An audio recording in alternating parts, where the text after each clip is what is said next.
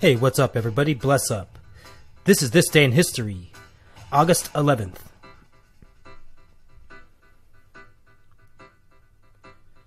In 1860, after the silver strike occurred in 1859, the nation's first silver mine begins operation from the Comstock Lode in Virginia City, Nevada.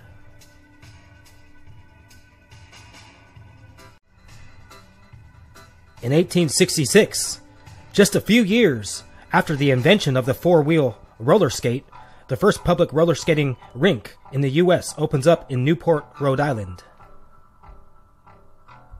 In 1896, inventor Harvey Hubbell of Bridgeport, Connecticut, is granted the U.S. patent for the pull chain incandescent lamp.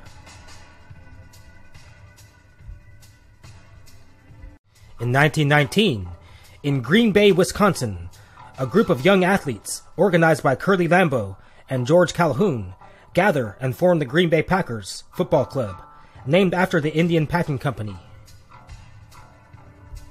In 1929, in Cleveland, the great Bambino Babe Ruth of the Yankees hits a home run off a Cleveland pitcher Willis Hudlin to become the first in history to reach 500 home runs. In 1934, designed for the worst criminals, the first group of federal prisoners arrive at Alcatraz, also known as the Rock, in the San Francisco Bay. In 1951, the first live televised baseball game in color is broadcast by WCBS TV in New York City during a game in which the Boston Braves beat the Brooklyn Dodgers 8 to 1 at Ebbets Field in Brooklyn. In 1961, one of the greatest lefties to play, pitcher Warren Spahn of the Milwaukee Braves, beats the Cubs 2 1 to earn his 300th career win. Spahn became the 13th player to reach 300.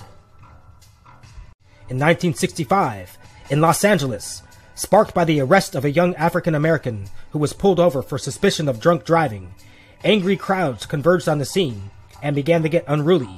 Chaos ensued, and the Watts riots had begun. The rioting would last for six days. And in 2014, one of the greatest comedians and actors in history, Robin Williams is found dead after an apparent suicide in Tiburon, California, north of San Francisco. He was 63 years old.